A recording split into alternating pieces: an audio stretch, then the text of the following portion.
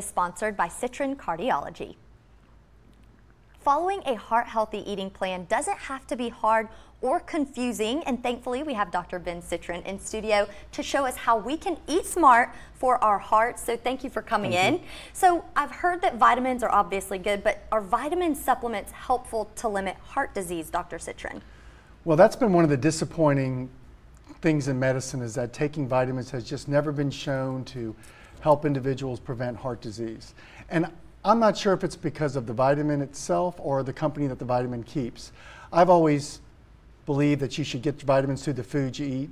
So I recommend to my patients to eat seven to 10 colors a day, fruits and vegetables now. Mm -hmm. So. so what healthy tips do you give us for a heart healthy diet then? And that's basically what I do with patients. I give them tips. Eat seven to 10 colors a day, fruits and vegetables. Try not to add salt to the food that you eat. Eat a scoop of nuts every day. Um, alcohol is a little bit controversial, mm-hmm. but it looks like one, one or two drinks a day for men and one drink four or five times a week for women is, is beneficial to the heart.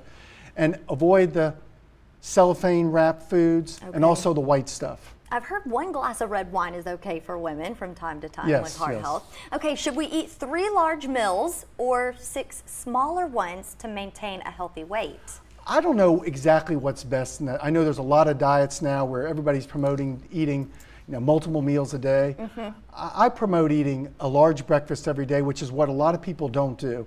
And the studies show that if you don't eat breakfast and eat a good sized breakfast, it's very hard to lose weight and maintain maintain a good weight and, mm -hmm. and mm-hmm. get on. So you got to eat a decent breakfast.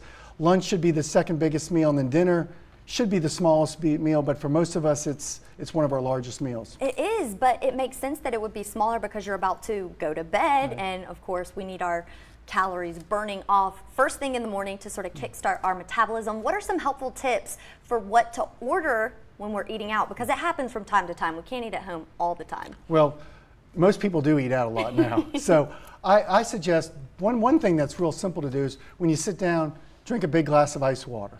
That will help, you know, squelch your appetite a little bit. Try to, I know my wife and I, we try to split meals more, split portions, particularly some of the, the portions at the restaurants are huge now.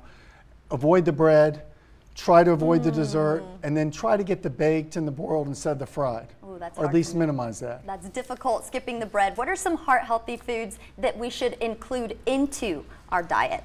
Well, obviously the, the seven to 10 fruits and vegetables a day, mm -hmm. a glass of orange juice is probably a good thing, a scoop of nuts, a scoopful of, of nuts, you know, the fresh, anything fresh you can get, fresh vegetables, that sort of thing, and make sure that some of the vegetables aren't washed too much because that tends to take away some of the nutrients. And then I understand that 150 pounds on different body types can look differently. So how should we calculate our ideal weight and how should we manage that weight? What, what most physicians use, we use now, it's called the BMI, the body mass index. And the recommendation is that we we be within 20 to 25. Well, that's based on height and weight. It's mm -hmm. not based on body size. Some people are skinnier or, or narrower than others. So I think sometimes that exaggerates what the weight should be, and some people can't be at that low a weight. And that's a discussion to have with your doctor, what's, what an ideal weight is.